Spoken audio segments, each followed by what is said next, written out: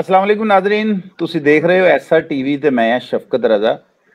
ਬੜਾ ਅੱਛਾ ਇੱਕ ਟਿਪੀਕਲ ਮਾਮਲਾ ਇਸ ਟਾਈਮ ਵਰਲਡ ਦੇ ਵਿੱਚ ਡਿਸਕਸ ਹੋ ਰਿਹਾ ਹੈ ਕਿ ਹਾਮਦ ਰੰਗੀਲਾ ਸਾਹਿਬ, ਆਫਤਾਬ ਇਕਬਾਲ ਸਾਹਿਬ ਨੂੰ ਦੱਸਿਓ ਬਗੈਰ ਦੁਬਈ ਤੋਂ ਲਾਹੌਰ ਪਹੁੰਚ ਗਏ ਔਰ ਆਪਣੀ ਐਕਟੀਵਿਟੀਜ਼ ਦੇ ਵਿੱਚ ਹਿੱਸਾ ਲੈਣਾ ਸ਼ੁਰੂ ਕਰ ਦਿੱਤਾ। ਇਹ ਮੁxtਲਫ ਲੋਕਾਂ ਨੇ ਮੁxtਲਫ YouTube ਚੈਨਲਸ ਦੇ ਉੱਤੇ ਔਰ ਮੁxtਲਫ ਵਲੌਗਸ ਦੇ ਵਿੱਚ ਹਾਮਦ ਰੰਗੀਲਾ ਸਾਹਿਬ ਨੂੰ ਨਾ ਇੱਕ ਕੈਦੀ, ਇੱਕ ਮਫਰੂਰ, ਇੱਕ ਚੋਰ, ਇੱਕ ਅਜੀਬ ਜਿਹਾ 네ਗੇਟਿਵ ਪੁਆਇੰਟ ਕਰਕੇ ਨਾ ਪੇਸ਼ ਕੀਤਾ ਲੇਕਿਨ ਮੈਂ ਉਹਨਾਂ ਦੀ ਪੋਜੀਸ਼ਨ ਨੂੰ ਸਮਝਣਾ ਕਿਉਂਕਿ ਮੇਰੇ ਦੋਸਤ ਨੇ ਔਰ ਬਚਪਨ ਦੇ ਮੇਰੇ ਦੋਸਤ ਨੇ, ਯਾਨੀ ਅੱਜ ਦੇ ਨੇ ਸ਼ੋਬਿਸ ਤੋਂ ਪਹਿਲੇ ਦੇ। ਬਲਕਿ ਅਸੀਂ ਮਹੱਲੇਦਾਰ ਆ ਮੈਂ ਉਹਨਾਂ ਨੂੰ ਅੱਜ ਆਨਲਾਈਨ ਲਿਆ, ਅੱਜ ਉਹਨਾਂ ਨਾਲ ਉਹ ਗੱਲਾਂ ਕਰਨੇ ਜਿਹੜੀਆਂ ਹਜੇ ਤੱਕ ਉਹਨਾਂ ਨਾਲ ਕਿਸੇ ਨੇ ਨਹੀਂ ਕੀਤੀਆਂ। ਅਸਲਾਮ ਅਲੈਕੁਮ ਹਮਦ ਰੰਗੀਲਾ ਸਾਹਿਬ। ਵਾਲੇਕੁਮ ਸਲਾਮ ਰਾਣਾ ਸਾਹਿਬ ਕੀ ਹਾਲ ਚਾਲ ਹੈ? ਠੀਕ ਠਾਕ? ਅੱਲਾ ਦਾ ਸ਼ੁਕਰ ਮੈਂ ਇੰਗਲੈਂਡ 'ਚ ਬੈਠਾ ਤੇ ਤੁਸੀਂ ਪਾਕਿਸਤਾਨ 'ਚ ਬੈਠੇ ਹੋ ਤੁਹਾਨੂੰ ਭੇਜਿਆ ਵੀ ਸੀ ਦੁਬਈ ਤੇ ਦੁਬਈ ਕਿਉਂ ਛੱਡ ਕੇ ਆ ਗਏ ਹੋ? ਖੈਰ ਸੀ ਉੱਥੇ ਮਤਲਬ ਕਿੰਨੇ ਸੀ ਊਂਠਾਂ ਨੂੰ ਸੁਰਮਾ ਪਾਉਣ ਦਾ ਕੰਮ ਮਿਲ ਗਿਆ ਸੀ। ਨਹੀਂ ਰਾਣਾ ਸਾਹਿਬ ਬਸ ਉੱਥੇ ਰੂਹ ਨਹੀਂ ਲੱਗੀ ਰਾਣਾ ਸਾਹਿਬ। ਉਹ ਤੇ ਨਹੀਂ ਸੀ ਰੂਹ ਲੈ ਗਿਆ ਦਿਲ ਦਾ ਜਾਨੀ ਤੇ ਬੁੱਤ ਸਾਨੂੰ ਚੁੱਕਣਾ ਪਿਆ। ਬੁੱਤ ਵੀ ਚੁੱਕਣਾ ਪਿਆ ਨਾਲ ਸਾਰਾ ਸਮਾਨ ਵੀ ਚੁੱਕਣਾ ਪਿਆ। ਸਮਾਨ ਵੀ ਚੁੱਕਣਾ ਪਿਆ। ਅੱਛਾ ਹਮ ਸਾਹਿਬ ਦੇਖੋ ਜਿਹੜਾ ਕੋਈ ਟੀਵੀ ਚੈਨਲ ਹੁੰਦਾ ਹੈ ਜਾਂ ਕੋਈ ਹੋਸਟ ਪਰਸਨ ਹੁੰਦਾ ਹੈ ਜਾਂ ਇਹ ਇੱਕ ਫੈਕਟਰੀ ਹੁੰਦੀ ਹੈ ਜਿੱਥੇ ਮੁxtਲਫ ਮਜ਼ਦੂਰ ਕੰਮ ਕਰਦੇ ਨੇ, ਕਿਸੇ ਜਗ੍ਹਾ ਤੇ ਮਜ਼ਦੂਰ ਨੂੰ ਜ਼ਿਆਦਾ ਉਜਰਤ ਦੀ ਆਫਰ ਹੋ ਜਾਂਦੀ ਹੈ, ਕਿਸੇ ਜਗ੍ਹਾ ਤੇ ਥੋੜਾ ਟਾਈਮ ਕੰਮ ਕਰਨ ਦੀ ਆਫਰ ਹੋ ਜਾਂਦੀ ਹੈ, ਐਸਾ ਕੁਝ ਸੀ ਕਿ ਤੁਸੀਂ ਉਸ ਫੈਕਟਰੀ ਨੂੰ ਛੱਡ ਕੇ ਆਏ ਨਹੀਂ ਰਾਣਾ ਸਾਹਿਬ ਇਹ ਗੱਲ ਨਹੀਂ ਸੀ ਹੈਗੀ ਕਿ ਉੱਥੇ ਮਤਲਬ ਬਾਹਰ ਕੰਮ ਸੀ ਜਾਂ ਮਤਲਬ ਜੀ। ਨਾਲ ਕਿਸੇ ਦੀ ਜ਼ਿਆਦਾ ਸੀ। ਇਹ ਇਹ ਤੇ ਕੋਈ ਗੱਲ ਹੀ ਨਹੀਂ ਹੈਗੀ। ਬਸ ਮੈਨੂੰ ਨਾ ਜਿਸ ਦਾਇਰੇ ਦੇ ਵਿੱਚ ਮੈਂ ਕੰਮ ਕਰ ਰਹਾ ਹਾਂ ਉਸ ਦਾਇਰੇ ਦੇ ਵਿੱਚ ਮੇਰੇ ਕੋਲੋਂ ਕੰਮ ਨਹੀਂ ਸੀ ਕਰਵਾਇਆ ਜਾ ਰਿਹਾ। ਅੱਛਾ ਹਮ ਸਭ ਇਹ ਇਸ ਚੀਜ਼ ਨੂੰ ਤੁਸੀਂ ਵੀ ਸਮਝਦੇ ਹੋ। ਜੀ। ਇਸ ਚੀਜ਼ ਨੂੰ ਤੁਸੀਂ ਵੀ ਸਮਝਦੇ ਹੋ ਕਿ ਜਿਹੜਾ ਆਰਟਿਸਟ ਜਿੰਨਾ ਕੰਮ ਕਰਨਾ ਜਾਣਦਾ ਹੈ ਨਾ ਜੀ ਜੀ। ਉਹਦੇ ਨਾਲ ਉਹਨੂੰ ਘੱਟ ਕੰਮ ਤੁਸੀਂ ਕਰਾਓਗੇ ਤੇ ਉਹ ਸਮਝੋ ਬਿਮਾਰ ਹੀ ਹੈ। ਠੀਕ ਹੈ। ਹਾਂ ਸਰ ਮੇਰਾ ਮੈਂ ਇਹ ਸਮਝਿਆ ਕਿ ਤੁਹਾਡਾ ਕਹਿਣ ਦਾ ਮਕਸਦ ਹੈ ਕਿ ਤੁਸੀਂ ਇੱਕ ਸਟੇਜ ਤੇ ਬੜੀ ਮਿਹਨਤ ਨਾਲ ਲਾਹੌਰ ਦੇ ਵਿੱਚ ਆਪਣਾ ਨਾਮ ਪੈਦਾ ਕੀਤਾ ਸੀ ਆਪਣੇ ਵਰਗਿਆਂ ਫਨਕਾਰਾਂ ਦੇ ਵਿੱਚ ਔਰ ਆਪਣੇ ਨਾਲੋਂ ਬਿਹਤਰ ਫਨਕਾਰਾਂ 'ਚ ਤੁਸੀਂ ਇੱਕ ਅੱਛਾ ਕਲਿੱਕ ਕੀਤਾ ਸੀ। ਕਿਆ ਐਸਾ ਸੀ ਕਿ ਤੁਹਾਨੂੰ ਦੁਬਈ 'ਚ ਉਹ ਮਾਹੌਲ ਔਰ ਉਹ ਐਂਟਰਟੇਨਮੈਂਟ ਜਾਂ ਉਹ ਮਤਲਬ ਹੈ ਕਿ ਪਲੇਟਫਾਰਮ ਮੁਹੱਈਆ ਨਹੀਂ ਹੋਇਆ ਕਿ ਜਿੱਥੇ ਤੁਹਾਡੇ ਵਰਗੇ ਲੋਕ ਕਿ ਇੱਕ ਪਾਸੇ ਇੰਨਾ ਲਿਟਰੇਰੀ ਔਰ ਫਲਸਫਰ ਆਦਮੀ ਔਰ ਇੱਕ ਪਾਸੇ ਤੁਸੀਂ ਜਸਟ ਸਟੇਜ ਕਰਨ ਵਾਲੇ ਇਹ ਕਲੈਸ਼ ਤੇ ਨਹੀਂ ਸੀ? ਨਹੀਂ ਨਹੀਂ ਇਹ ਕਲੈਸ਼ ਨਹੀਂ ਸੀ ਹੈਗਾ। ਦੇਖੋ ਰਾਣਾ ਸਾਹਿਬ ਅਸੀਂ ਦੋ ਬੰਦੇ ਸੀ ਉੱਥੇ। ਠੀਕ ਹੈ ਜੀ। ਦੋ ਬੰਦੇ ਕਿੰਨੀਆਂ ਗੱਲਾਂ ਇੱਕ ਦੂਸਰੇ ਨੂੰ ਕਰ ਲੈਣਗੇ ਜਾਂ ਮਤਲਬ ਕਿੰਨਾ ਕੁ ਉੱਥੇ ਸ਼ਾਮਾਂ ਪਾ ਸਕਦੇ ਨੇ ਠੀਕ ਹੈ ਨਾ? ਓਕੇ। ਟੀਮ ਦੇ ਨਾਲ ਹੁੰਦਾ ਹੈ ਸਾਰਾ ਕੁਝ ਠੀਕ ਹੈ ਦੇਖੋ ਇਹਦੇ ਵਿੱਚ ਇੱਕ ਬੰਦਾ ਵੀ ਹੋਰ ਐਡਜਸਟ ਹੋ ਜਾਂਦਾ ਨਾ। ਜੀ। ਬੜਾ ਸੋਹਣਾ ਗੁਜ਼ਾਰਾ ਹੋਣਾ ਸੀ ਵੀ ਚਲੋ ਮੇਰੇ ਤੇ ਗੱਲਾਂ ਹੋ ਗਈਆਂ ਮੈਂ ਕਦੀ ਉਹਦੇ ਤੇ ਕਰ ਲਈਆਂ ਕਦੀ ਤੀਸਰੇ ਬੰਦੇ ਨੇ ਸਾਡੇ ਦੋਵਾਂ ਤੇ ਕਰ ਲਈਆਂ। ਉਹ ਕੰਮ ਇਕੁਅਲ ਹੋ ਜਾਂਦਾ ਹੈ। ਠੀਕ ਹੈ? ਜਦੋਂ ਤੁਸੀਂ ਇੱਕ ਬੰਦੇ ਨੂੰ ਬੌਲਾ ਬਣਾ ਕੇ ਦੇਈ ਜਾਓਗੇ ਦੂਸਰੇ ਬੰਦੇ ਦੇ ਨਾਲ ਤੁਸੀਂ ਜਿਹੜਾ ਹੈ ਉਹ ਬਿਲਕੁਲ ਉਹਨੂੰ ਖਮੋਸ਼ ਕਰਕੇ ਬਿਠਾ ਦਿਓਗੇ। ਤੇ ਉਹ ਮੈਂ ਹਮੇਸ਼ਾ ਜਦੋਂ ਵੀ ਜਿੰਨਾ ਵੀ ਕੰਮ ਆਪਣਾ ਇਸ ਫੀਲਡ ਦੇ ਵਿੱਚ ਕੀਤਾ ਹੈ ਮੈਂ ਉਹਨੂੰ ਮਿਹਨਤ ਦੇ ਨਾਲ ਜਿਵੇਂ ਗੀਜ਼ਰਾਂ ਦਾ ਕੰਮ ਕਰਦਾ ਰਿਹਾ ਨਾ ਮੈਂ ਉਵੇਂ ਇਹਨੂੰ ਮਿਹਨਤ ਦੇ ਨਾਲ ਕੀਤਾ।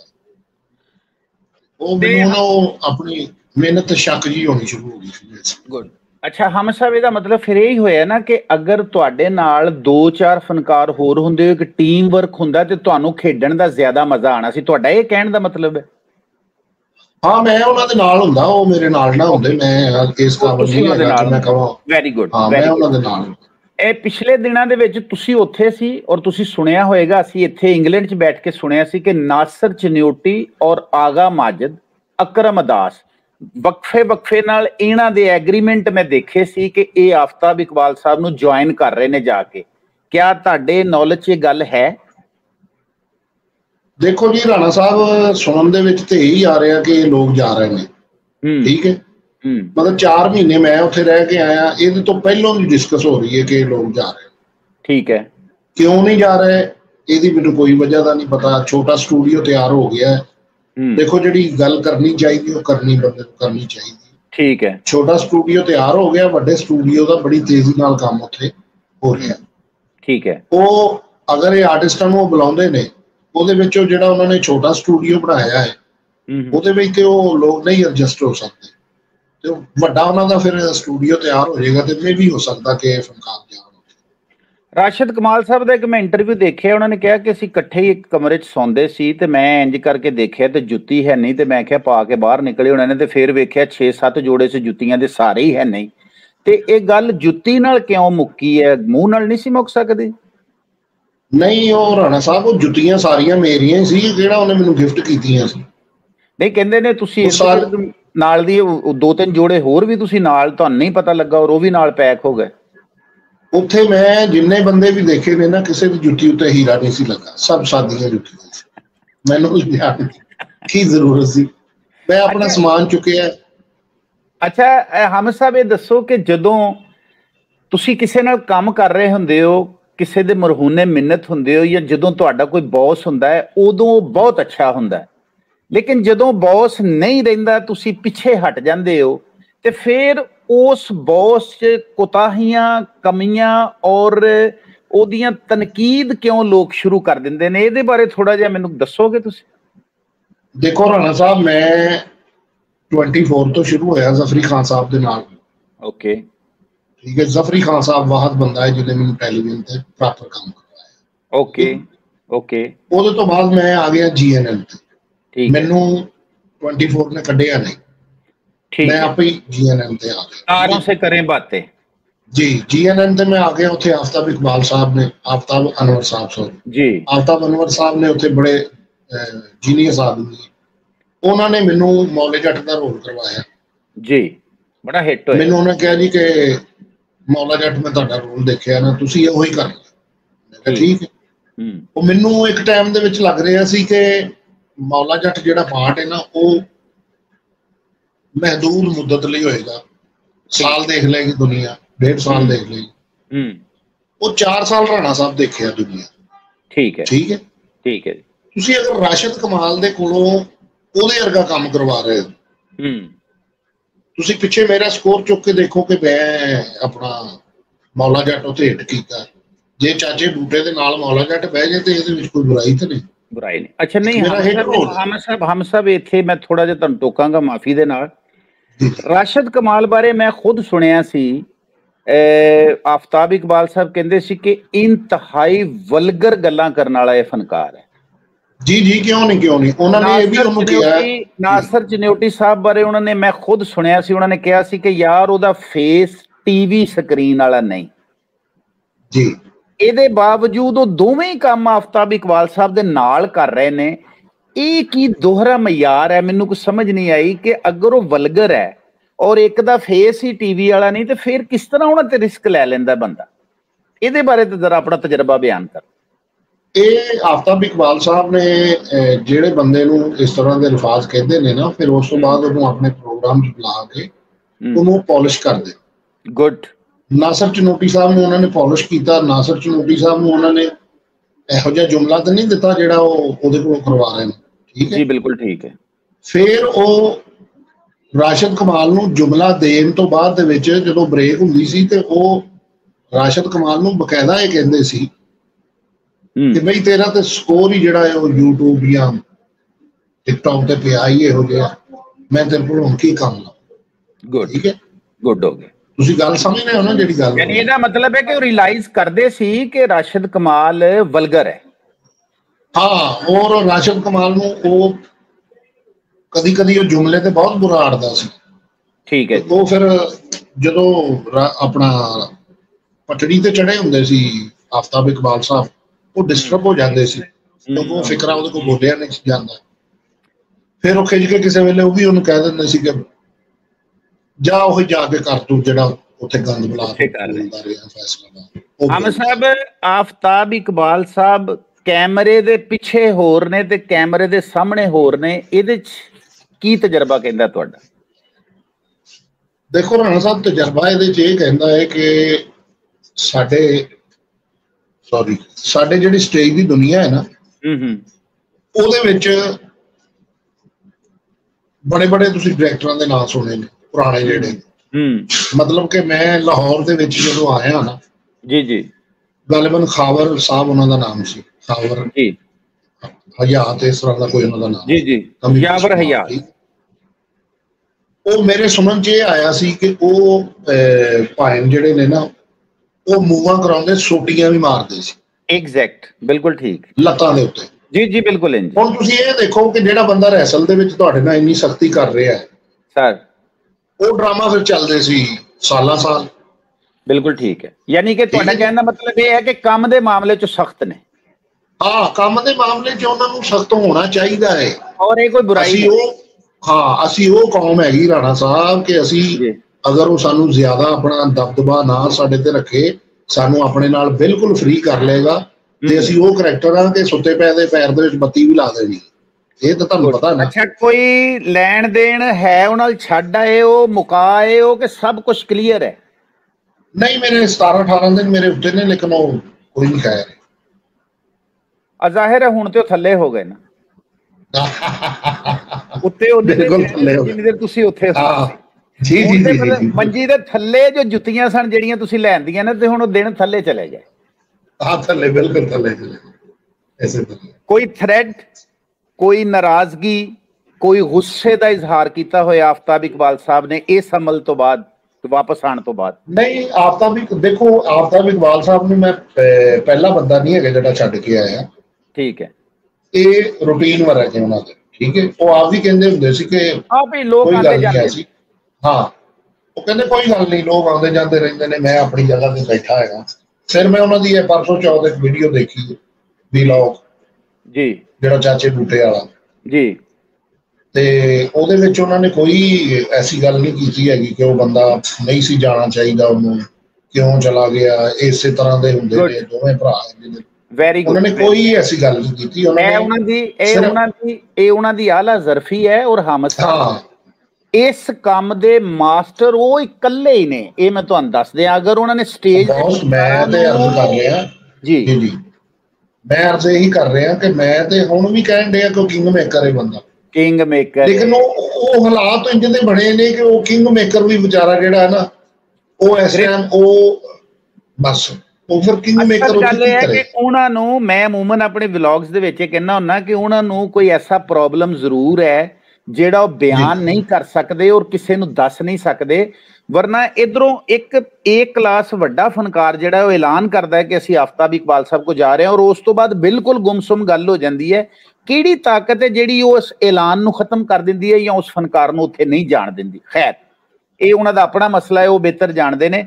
ਲੇਕਿਨ ਇਹਦੇ ਚ ਕੋਈ ਸ਼ੱਕ ਨਹੀਂ ਕਿ ਸਟੇਜ ਦੇ ਫਨਕਾਰਾਂ ਦੀ ਕੀਮਤ ਵਕਾਰ ਔਰ ਇੱਜ਼ਤ ਵਧਾਉਣ ਦੇ ਵਿੱਚ ਜਿੰਨਾ ਕੰਮ ਆਫਤਾਬ ਇਕਬਾਲ ਸਾਹਿਬ ਨੇ ਕੀਤਾ ਹੈ ਬਲਕਿ ਮੈਂ ਕਹਾਂਗਾ ਕਿ ਇਹ ਕੰਮ ਆਂਦਾ ਹੀ ਉਹਨਾਂ ਨੂੰ ਹੈ। ਹਸੀਬ ਖਾਨ ਸਾਹਿਬ ਉਹਨਾਂ ਲਈ ਫਨਕਾਰ ਲੱਭ ਕੇ ਭੇਜਦੇ ਨੇ ਦੁਬਈ। ਹਸੀਬ ਖਾਨ ਸਾਹਿਬ ਖੁਦ ਕਿਉਂ ਨਹੀਂ ਜਾਂਦੇ? ਮੇਰੀ ਹੁਣ ਗੱਲ ਸੁਣੋ ਜ਼ਰਾ ਰਾਣਾ ਸਾਹਿਬ। ਹਸੀਬ ਖਾਨ ਸਾਹਿਬ ਦਾ ਜੋ ਮੈਂ ਹਿਸਾਬ ਲਾਇਆ ਨਾ ਸਰ।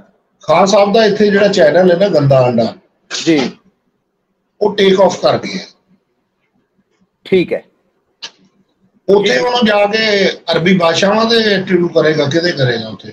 ਓਕੇ ਯਾਨੀ ਕਿ ਅਸੀਬ ਖਾਨ ਸਾਹਿਬ ਤੁਹਾਨੂੰ ਪਤਾ ਉਹ ਵੀ ਬੜੇ ਮਿਹਨਤੀ ਔਰ ਬੜੇ ਪੜ੍ਹੇ ਲਿਖੇ ਆਦਮੀ ਨੇ। ਜੀ ਜੀ ਸਰ ਉਹ ਔਰ ਉਸ ਬੰਦੇ ਨੇ ਬੜੀ ਹਾਂ ਉਸ ਬੰਦੇ ਨੇ ਬੜੀ ਮਿਹਨਤ ਆਪਣੇ ਚੈਨਲ ਕਿ ਹਮਦ ਸਾਹਿਬ ਨਾਮ ਦੇਖੋ ਉਹਨਾਂ ਨੇ ਹਸੀਬ ਖਾਨ ਗੰਦਾ ਆਂਡਾ ਯਾਨੀ ਮਾਰਫਤ ਕੀ ਬਣਾਈ ਹੈ ਲੇਕਿਨ ਉਹਨਾਂ ਦੇ ਚੈਨਲ ਨੂੰ ਗੰਦਾ ਆਂਡਾ ਤੋਂ ਹੀ ਭਾਗ ਲੱਗੇ ਕਿ ਆਫਤਾਬ ਇਕਬਾਲ ਸਾਹਿਬ ਨੇ ਵੀ ਇੱਕ ਵਲੌਗ ਦੇ ਵਿੱਚ ਗੰਦੇ ਆਂਡੇ ਦਾ ਕਿਹਾ ਵੀ ਉਹ ਬੜਾ ਰਾਈਜ਼ ਕਰ ਰਿਹਾ। ਅੱਛਾ ਇਹਦਾ ਮਤਲਬ ਇਹ ਹੈ ਕਿ ਤੁਹਾਨੂੰ ਆਫਤਾਬ ਇਕਬਾਲ ਸਾਹਿਬ ਨਾਲ ਕੋਈ ਗੁੱਸਾ ਨਾਰਾਜ਼ਗੀ ਨਹੀਂ ਔਰ ਉਹਨਾਂ ਨੂੰ ਤੁਹਾਡੇ ਨਾਲ ਕੋਈ ਗੁੱਸਾ ਨਾਰਾਜ਼ਗੀ ਨਹੀਂ ਬਸ ਤੁਹਾਡਾ ਨਹੀਂ ਮੰਨਿਆ। ਤੁਸੀਂ ਉੱਥੇ ਆਪਣੇ ਆਪ ਨੂੰ ਐਵੇਂ ਸਮਝਿਆ ਕਿ ਯਾਰ ਮੈਂ ਖੁੱਲ ਕੇ ਕੰਮ ਨਹੀਂ ਕਰ ਪਾ ਰਿਹਾ ਜਾਂ ਮੈਨੂੰ ਜਿਹੜਾ ਕੰਮ ਆਂਦਾ ਮੇਰੇ ਕੋਲ ਉਹ ਕੰਮ ਨਹੀਂ ਲਿਆ ਜਾ ਰਿਹਾ ਲਿਆਜ਼ਾ ਮੈਂ ਚੱਲਾਂ। ਸਿਰਫ ਜੀ 2 ਮਹੀਨੇ 2 ਮਹੀਨੇ ਬੜਾ ਅੱਛਾ ਸਟਾਰਟ ਜਿਹੜੇ 2 ਮਹੀਨੇ ਨੇ ਨਾ। ਬਹੁਤ ਅੱਛਾ ਉਹ ਤੁਸੀਂ ਪ੍ਰੋਗਰਾਮ ਦੇਖੋ ਉਹਦੇ ਵਿੱਚ ਤੁਹਾਨੂੰ ਨਜ਼ਰ ਆਏਗਾ ਕਿ ਚੁਲਬਲੀ ਗੱਲਾਂ ਹੋ ਰਹੀਆਂ ਨੇ। ਆਖਰੀ ਗੱਲ ਇਹ ਹੈ ਆਖਰੀ ਗੱਲ ਇਹ ਹੈ ਹਮ ਸਾਹਿਬ ਕਿ ਤੁਸੀਂ ਸਿਰਫ ਇੱਕੋ ਹੀ ਜਵਾਬ ਦੇਣਾ ਹੈ ਤੇ ਸਭ ਨੂੰ ਤੁਸੀਂ ਉਹ ਹੀ ਜਵਾਬ ਦੇਣਾ ਹੈ ਇਸ ਸਵਾਲ ਤੋਂ ਬਾਅਦ ਕਿ ਅਗਰ ਆਫਤਾਬ ਇਕਬਾਲ ਸਾਹਿਬ ਬਹੁਤ ਅੱਛੇ ਆਦਮੀ ਨੇ ਕੰਮ ਕਰਾਣ ਦੇ ਉਹ ਕਿੰਗ ਮੇਕਰ ਨੇ ਕੰਮ ਸਖਤੀ ਨਾਲ ਲੈਂਦੇ ਨੇ ਕੰਮ ਦੇ ਮਾਮਲੇ 'ਚ ਉਹ ਕੰਪਰੋਮਾਈਜ਼ ਨਹੀਂ ਕਰਦੇ ਉਹਨਾਂ ਨੂੰ ਅੱਛਾ ਕੰਮ ਚਾਹੀਦਾ ਹੁੰਦਾ ਹੈ। ਇਸ ਮਾਹੌਲ ਨੂੰ ਫਿਰ ਤੁਸੀਂ ਉਹਨਾਂ ਨੂੰ ਦੱਸਣ ਤੋਂ ਬਗੈਰ ਕਿਉਂ ਆ ਗਏ? ਕੁਝ ਇਹਦੇ ਵਿੱਚ ਕੋ ਥੋੜੀ ਜਿਹੀ ਜਿਹੜੀ ਵਿਚਲੀ ਗੱਲ ਹੈ ਪਲੀਜ਼ ਉਹ ਦੱਸਣੀ ਕਿ ਉਹਨਾਂ ਨੇ ਰੋਕ ਲੈਣਾ ਸੀ ਜਾਂ ਜਾਣ ਨਹੀਂ ਸੀ ਦੇਣਾ ਜਾਂ ਤੁਸੀਂ ਦੱਸਣਾ ਹੀ ਨਹੀਂ ਸੀ ਚਾਹੁੰਦੇ? ਤੁਸੀਂ ਰਾਣਾ ਸਾਹਿਬ ਮੈਂ ਤੇ ਹੁਣ ਗਿਆ ਨਾ ਪਿਛਲੇ ਸਾਲ ਇੱਕ ਮੁਲਕ ਦੇ ਵਿੱਚੋਂ ਮੈਂ ਹੋ ਕੇ ਆਇਆ ਅਜ਼ਰਬਾਈਜਾਨ ਬਾਕ ਠੀਕ ਹੈ? ਤੇ ਹੁਣ ਮੈਂ ਦੁਬਈ। ਤੁਸੀਂ ਕਾਫੀ ਅਰਸੇ ਤੋਂ ਤੁਸੀਂ ਬਾਹਰਲੇ ਮੁਲਕਾਂ 'ਚ ਰਹਿ ਰਹੇ ਹੋ। ਜੀ। ਜਦੋਂ ਰਾਣਾ ਸਾਹਿਬ ਇਨ ਆਊਟ ਹੋ ਜਾਂਦਾ ਹੈ ਨਾ ਜੀ। ਇਨ ਆਊਟ ਹੁੰਦਾ ਹੈ ਸਮਝਦੇ ਹੋ ਨਾ? ਜਦੋਂ ਤੁਸੀਂ ਤੁਹਾ- ਤੁਹਾਡਾ ਐਕਸਟੈਂਡ ਹੁੰਦਾ ਹੈ ਵੀਜ਼ਾ ਜਾਂ ਤੁਹਾਨੂੰ ਇਨ ਆਊਟ ਕਰਨਾ ਪੈਂਦਾ ਹੂੰ। ਪਹਿਲਾਂ ਉਹਨਾਂ ਦਾ ਉਹਨਾਂ ਨੇ ਸਾਡਾ 1 ਮਹੀਨੇ ਦਾ ਲਵਾਇਆ ਫਿਰ 1 Okay. ਮਹੀਨੇ ਦਾ ਹੋਰ ਲਾਇਆ ਹੂੰ। ਫਿਰ ਉਹਨਾਂ ਨੇ ਸਾਡਾ ਸਾਨੂੰ ਓਮਾਨ ਭੇਜਿਆ ਬਾਈ 에ਅਰ ਹੂੰ। ਉਸੇ ਹੀ ਜਹਾਜ਼ ਤੇ ਅਸੀਂ ਵਾਪਸ ਆਏ। ਹੂੰ। ਨਵਾਂ ਵੀਜ਼ਾ ਸਾਡਾ 60 ਦਿਨ ਦਾ ਲੱਗ ਠੀਕ ਹੈ। ਠੀਕ ਹੈ ਜੀ? ਜੀ। ਇਹ 60 ਦਿਨ ਪੂਰੇ ਹੋਣੇ ਸੀ ਜਾ ਕੇ 20ਵੇਂ ਰੋਜ਼। ਅੱਛਾ ਜੀ। ਤੇ 20ਵੇਂ ਰੋਜ਼ ਜਦੋਂ ਇਹ 60 ਦਿਨ ਪੂਰੇ ਹੋਣੇ ਸੀ ਤੇ ਉਹਨਾਂ ਨੇ ਯਕੀਨਨ ਸਾਨੂੰ ਇਹ ਨੋਟ ਫੇਰ ਕਰਾਉਣਾ ਸੀ। ਠੀਕ ਹੈ ਜੀ। ਓਕੇ। ਹੁਣ ਇੱਕ ਬੰਦੇ ਨੇ ਜਦੋਂ ਸਾਨੂੰ ਇਹ ਨੋਟ ਕਰਾਉਣਾ ਹੈ ਪਾਕਿਸਤਾਨੀ 1.5 ਪੌਣੇ 2 ਲੱਖ ਰੁਪਇਆ ਲੱਗਦਾ ਜੀ ਜੀ। ਇੱਥੇ ਤੁਸੀਂ ਦੱਸੋ ਤੁਸੀਂ ਕਹਿ ਸਕਦੇ ਹੋ ਕਿ ਮੈਂ ਜਾਣਾ ਜੀ ਹੁਣ ਪਾਕਿਸਤਾਨ ਅੱਛਾ ਯਾਨੀ ਕਿ। ਇਨ ਆਊਟ ਤੇ ਉਹਨਾਂ ਨੇ ਕਰਾਣਾ ਹੀ ਸੀ ਤੁਸੀਂ ਕਿਹਾ ਜਿਹੜਾ 1.5 2 ਲੱਖ ਉਹਨਾਂ ਦਾ ਲੱਗਣਾ ਤੁਸੀਂ ਅਸਲ 'ਚ ਉਹ ਵੀ ਬਚਾ ਕੇ ਤੇ ਬਿਲਕੁਲ ਆਊਟ ਹੋ ਗਏ। ਚ- ਫਿਰ ਦੇਖੋ ਨਾ ਉਹ ਝਗੜਾ ਸੀ ਨਾ ਫਿਰ ਲੜਾਈ ਸੀ ਉੱਥੇ। ਆਹੋ ਕਿ ਉਹਨਾਂ ਨੇ ਆਣਾ ਚਲੋ ਬਾਹਰ ਉਹਨਾਂ ਨੇ ਫਿਰ ਹਾਂ। ਇੱਕ ਗੱਲ ਮੈਨੂੰ ਇਹ ਵੀ ਪਤਾ ਇਹ ਵੀ ਜ਼ਰਾ- ਜ਼ਰਾਇਆਂ ਦੇ ਕੋਲੋਂ ਮੈਨੂੰ ਫਿਰ ਇਹ ਵੀ ਪਤਾ ਚੱਲਿਆ ਹੈ ਜੀ ਜੀ। ਕਿ ਤੁਸੀਂ ਸਾਡੀ ਟੀਮ ਦੇ ਕੁਝ ਲੋਕਾਂ ਨੇ ਕਿਹਾ ਕਿ ਤੁਸੀਂ ਪਾਕਿਸਤਾਨ ਕਿਵੇਂ ਜਾ ਸਕਦੇ ਹੋ ਜਦਕਿ ਈਦ ਟਰੂ ਮਰੂ। ਇਹ। ਤਿੰਨ ਦਿਨ ਤੁਸੀਂ ਜਿਹੜਾ ਹੈ ਨਾ ਇਹ ਤੁਸੀਂ ਪਬਲਿਕ ਦੇ ਸਾਹਮਣੇ ਸ਼ੋਅ ਕਰਨੇ ਨੇ ਜਾ ਕੇ ਉਮਾ ਉੱਥੇ ਆਪਣਾ ਅਬੂ ਧਾਬੀ। ਓਕੇ। ਈਦ ਟਰੂ ਮਰੂ ਤਿੰਨ ਦਿਨ। ਯਾਨੀ ਅਸੀਂ ਈਦ ਵੀ ਉੱਥੇ ਹੀ ਸੀ। ਠੀਕ ਹੈ। ਤੇ ਹਰ ਬੰਦੇ ਨੂੰ ਆਪਣੇ ਬੱਚਿਆਂ ਨਾਲ ਉਨਸ ਹੁੰਦੀ ਹੈ। ਠੀਕ ਹੈ ਮੈਨੂੰ। ਆਪਣੇ ਬੱਚਿਆਂ ਨਾਲ ਬੜੀ ਉਨਸ ਹੈਗੀ ਹੈ। ਮੇਰੀ ਭਾਬੀ ਤੁਹਾਡੀ ਮੇਰੀ ਵਾਈਫ ਉਹਦੀ ਤਬੀਅਤ ਜ਼ਰਾ ਖਰਾਬ ਹੋਣੀ ਸ਼ੁਰੂ ਹੋ ਗਈ ਤੇ ਸੀ। ਜਾਣ ਲੱਗੇ ਜਦੋਂ ਤੁਸੀਂ ਤੇ- ਗਏ ਉੱਥੇ ਆਫਤਾਬ ਸਾਹਿਬ ਕੋ ਉਦੋਂ ਉਨਸ ਨਹੀਂ ਸੀ? ਬਾਅਦ ਚ ਪੈਦਾ ਹੋਇਆ ਉੱਥੇ ਜਾ ਕੇ? ਨਹੀਂ ਨਹੀਂ ਉਨਸ ਨਹੀਂ ਮੈਨੂੰ ਗੰਦਾ ਆਂਡਾ ਸਾਹਿਬ ਨੇ ਇਹ ਕਿਹਾ ਸੀ ਕਿ ਤੁਹਾਡਾ ਵੀਜ਼ਾ ਜਿਹੜਾ ਲੱਗੇਗਾ ਨਾ ਉਹਦੇ ਵਿੱਚ 2 ਮਹੀਨੇ ਬਾਅਦ ਤੁਸੀਂ ਜਾਂ ਤਾਂ ਤੁਹਾਨੂੰ ਉਹ ਟਿਕਟ ਦੇ ਪੈਸੇ ਦੇ ਦੇਣਗੇ ਜਾਂ ਅੱਧੀ ਤੁਸੀਂ ਲਾ ਲੈਣਾ ਅੱਧੀ ਉਹ ਤੇ ਤੁਸੀਂ ਬੱਚਿਆਂ ਭੋਗ ਕੇ ਚਲੇ ਜਾਓ ਓਕੇ ਨਾਲ ਤੇ ਇਹ ਗੱਲ ਹੋਈ ਨਾ ਹੁਣ ਉਸ ਤੋਂ ਬਾਅਦ ਗੰਦਾ ਆਂਡਾ ਗੰਦੇ ਆਂਡੇ ਦਾ ਆਪਣਾ ਚੈਨਲ ਚੱਲ ਪਿਆ ਤੇ ਗੰਦੇ ਆਂਡੇ ਨੇ ਉਹਦੇ ਤੋਂ ਬਾਅਦ ਦੇ ਵਿੱਚ ਉਹ ਨਹੀਂ ਗੰਦਾ ਅੰਡਾ ਨਹੀਂ ਜਿਹਦਾ ਚੈਨਲ ਚੱਲ ਪਿਆ ਚੈਨਲ ਦਾ ਨਾਂ ਗੰਦਾ ਅੰਡਾ ਹੈ। ਉਹੀ ਨਾ ਉਹਨੂੰ ਗੰਦਾ ਆਂਡਾ ਹੀ ਹੁਣ ਕਹਿੰਦੇ ਨੇ ਸਾਰੇ। ਅੱਛਾ ਅੱਛਾ ਅਸੀਮ ਖਾਨ ਸਾਹਿਬ ਨੂੰ। ਅਸੀਮ ਖਾਨ ਸਾਹਿਬ ਨੂੰ ਨਹੀਂ ਨਹੀਂ ਉਹ ਜ਼ਿਆਦਾਤਰ ਲੋਕ ਜਿਹੜੇ ਨੇ ਨਾ ਨਹੀਂ ਨਹੀਂ। ਹਾਂ ਜ਼ਿਆਦਾਤਰ ਜਿਹੜੇ ਲੋਕ ਨੇ ਨਾ ਉਹ ਰਾਣਾ ਸਾਹਿਬ। ਇਹ ਚਲੋ ਸ਼ੁਗਲ ਦੀ ਹੱਦ ਤੱਕ ਠੀਕ ਹੈ ਲੇਕਿਨ ਉਹ ਬੜਾ ਓਬੀਡੀਐਂਟ ਆਦਮੀ ਹੈ। ਬਹੁਤ ਨਹੀਂ ਨਹੀਂ ਨਹੀਂ ਉਹਨਾਂ ਦਾ ਮੈਂ ਉਹਨਾਂ ਦੇ ਨਾਲ ਇਹ ਦੂਸਰਾ ਪ੍ਰੋਜੈਕਟ ਕਰ ਰਿਹਾ। ਔਰ ਇਹ ਦੂਸਰੇ ਪ੍ਰੋਜੈਕਟ ਔਰ ਇਹ ਦੂਸਰੇ ਪ੍ਰੋਜੈਕਟ ਚੋਂ ਮੈਂ ਅਲਹਮਦੁਲਿਲਾ ਦਾ ਹੋ ਰਿਹਾ ਆ ਸਮਝੇ ਨਹੀਂ ਗੱਲ? ਅੱਛਾ ਅੱਛਾ ਓਕੇ ਓਕੇ ਓਕੇ ਤੇ ਇਸ ਤੋਂ ਪਹਿਲਾਂ ਜੀ ਜੀ। ਜੀ ਜੀ ਬੋਲੋ ਇਸ ਤੋਂ ਪਹਿਲੇ। ਇਸ ਤੋਂ ਪਹਿਲਾਂ ਮੈਂ ਇਹਨਾਂ ਦਾ ਵਸੀ ਸ਼ਾਹ ਸਾਹਿਬ ਦੇ ਨਾਲ ਨਿਊ ਚੈਨਲ ਤੇ ਕੰਮ ਕਰਦਾ ਰਿਹਾ। ਤੇ ਹੁਣ ਕੀ ਕਰ ਰਹੇ ਹੋ ਤੁਸੀਂ ਸਟੇਜ ਤੋਂ ਇਲਾਵਾ? ਮੈਂ ਹੁਣ ਇਨਸ਼ਾਅੱਲਾ ਤਾਲਾ ਇਹ ਕਮਰੇ ਦੀ ਸੈਟਿੰਗ ਸ਼ੂਟਿੰਗ ਮੈਂ ਕਰ ਲਈ ਹੈ। ਅੱਛਾ ਜੀ। ਇਹਦੇ ਤੇ ਮੈਂ ਆਪਣਾ YouTube ਦਾ ਜਿਹੜਾ ਮੇਰਾ ਚੈਨਲ ਹੈ ਉਹਨੂੰ ਮੈਂ ਰਨ ਕਰਾਂਗਾ ਇਨਸ਼ਾਅੱਲਾ। ਯਾਨੀ ਹੁਣ ਤੁਸੀਂ ਚਾਹੁੰਦੇ ਹੋ ਕਿ YouTube ਚੈਨਲ ਬਣਾ ਕੇ ਤੇ ਜਿਹੜੇ ਆਫਤਾਬ ਸਾਹਿਬ ਨੂੰ ਛੱਡ ਕੇ ਬੰਦੇ ਆਣ ਉਹਨਾਂ ਦੇ ਇੰਟਰਵਿਊ ਕਰੋ। ਨਹੀਂ ਨਹੀਂ ਮੈਂ ਇੰਟਰਵਿਊ ਵਾਲਾ ਨਹੀਂ ਕਰਨਾ ਹੈਗਾ। ਮੈਂ ਰਾਣਾ ਸਾਹਿਬ ਮੇਰਾ ਆਪਣਾ ਕੋਈ ਸਿਸਟਮ ਹੈ। ਅੱਛਾ ਮੈਂ ਇਹਦੇ ਤੇ ਕੋਈ ਖਾਤੇ ਖੂਕੇ ਬਣਾ ਕੇ ਗੁਰਾਈ ਸਾਹਿਬ ਦੀਆਂ ਫਿਲਮਾਂ ਦੇ ਉੱਤੇ ਕੋਈ ਇੱਕ ਦੋ ਹੋਰ ਮੇਰੇ ਜ਼ਿਹਨ ਦੇ ਵਿੱਚ ਜਿਹੜਾ ਜਿਹੜਾ ਮੇਰੇ ਕੋਲੋਂ ਨਹੀਂ ਕੰਮ ਉੱਥੇ ਲਿਆ ਗਿਆ ਜਿਹੜਾ ਨਾ ਉਹ ਮੈਂ ਫਿਰ ਆਪਣੇ ਹੋ। ਚੈਨਲ ਦੇ ਥਰੂ ਤੇ ਤੁਸੀਂ ਆਫਤਾਬ ਸਾਹਿਬ ਨੂੰ ਮਸ਼ਵਰਾ ਦਿੱਤਾ ਸੀ ਕਿ ਮੇਰੇ ਕੋਲੋਂ ਇਹ ਕੰਮ ਲਵੋ? ਨਹੀਂ ਨਹੀਂ ਆਫਤਾਬ ਆਫਤਾਬ ਸਾਹਿਬ ਨੂੰ ਤੇ ਹੁਣ ਦੇਖੋ ਜਿਨ੍ਹਾਂ ਨੇ ਸਟਾਰਟ ਹੀ ਮੈਨੂੰ ਖੁੱਲਾ ਛੱਡਿਆ ਠੀਕ ਹੈ। ਬਾਅਦ ਦੇ ਵਿੱਚ ਮੈਨੂੰ ਕਿਉਂ ਉਹ ਇੱਕ ਜਗ੍ਹਾ ਤੇ ਮੈਨੂੰ ਇੰਜ ਕਰ ਦਿੱਤਾ ਠੀਕ ਹੈ। ਹੁਣ ਕਈ ਉਹਨਾਂ ਦੇ ਜਿਹੜੇ ਬੰਦੇ ਨੇ ਉਹ ਵੀ ਗੱਲਾਂ ਕਰ ਰਹੇ ਨੇ ਕਿ ਜੀ ਇੱਕ ਟਾਈਮ ਦੇ ਵਿੱਚ ਇੱਕ ਹੀ ਬੰਦਾ ਹਿੱਟ ਹੁੰਦਾ ਸੀ ਅੱਛਾ ਇਹ ਦੱਸੋ ਇਹ ਦੱਸੋ ਹਮ ਸਾਹਿਬ ਕਿ ਤੁਸੀਂ ਉੱਥੋਂ ਦੁਬਈ ਤੋਂ ਆਏ ਹੋ ਤੇ ਬੱਚਿਆਂ ਲਈ ਭਾਬੀ ਸਾਡੀ ਲਈ ਕੋਈ ਗਿਫਟ ਵੀ ਲੈ ਕੇ ਆਏ ਹੋ ਕਿ ਨਹੀਂ? ਕਿ ਸਿਰਫ ਆਪਣਾ ਸਮਾਨ ਹੀ ਇਕੱਠਾ ਕਰਕੇ ਲਿਆਂਦਾ ਜੀ? ਨਹੀਂ ਗਿਫਟ ਜਿਹੜੇ ਨੇ ਮੈਂ ਉਹ ਡੇਢ ਕੁ ਮਹੀਨਾ ਪਹਿਲਾਂ ਇੱਕ ਬੰਦਾ ਪਾਕਿਸਤਾਨ ਆ ਰਿਹਾ ਸੀ। ਉਹਦੇ ਹੱਥ ਭੇਜ। ਜੀ। ਠੀਕ ਹੈ। ਤੇ ਫਿਰ ਮੈਂ ਜਲਦੀ ਜਲਦੀ ਕੀ ਨਿਕਲੇ? ਤੇ ਹੁਣ ਤੁਸੀਂ ਆਏ ਤੇ ਆ ਕੇ ਯਾਦ ਕਰਾਤਾ ਹੋਣਾ ਕਿ ਮੈਂ ਭੇਜੇ ਤੇ ਸੀ ਤੁਹਾਨੂੰ ਗਿਫਟ ਹਾਂ ਹਾਂ ਉਹ ਨਾਲੇ ਉਹ ਤੁਹਾਨੂੰ ਪਤਾ ਕਿ ਉੱਥੋਂ ਚੀਜ਼ ਮਹਿੰਗੀ ਟੈਪ ਲੱਗਦੀ ਹੈ ਤੇ ਉਹ ਘਰਦਿਆਂ ਨੇ ਕਹਿ ਦਿੱਤਾ ਸੀ ਆਣ ਤੁਹਾਨੂੰ ਪਤਾ ਹੈ ਤੁਹਾਨੂੰ ਪਤਾ ਹੈ ਔਰ ਤੁਸੀਂ ਦੇਖ ਵੀ ਰਹੇ ਹੋ ਕਿ ਐਸਆਰ ਟੀਵੀ ਜਿਹੜਾ ਸਾਡਾ YouTube ਚੈਨਲ ਹੈ ਔਰ ਜਿਹੜਾ ਸਾਡਾ Facebook ਪੇਜ ਹੈ ਬੜਾ ਰਾਈਜ਼ਿੰਗ ਤੇ ਜਾ ਰਿਹਾ ਇਸ ਵਕਤ।